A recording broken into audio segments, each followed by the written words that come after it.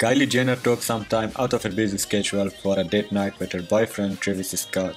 She has given her fans a look of her beautiful look as she posed for snaps in a tight white top with matching lace-up pants and bright new green heels. As you can see, she tacked a white top into a pair of matching lace-up pants and she finished her look with a pair of bright green heels while showing off a long ponytail and a perfect face of makeup. Let's have a look at her pictures and let me know in the comment section what do you like about her dress and outfit. And if you want to stay up to date with my latest videos, make sure to subscribe by clicking the subscribe button.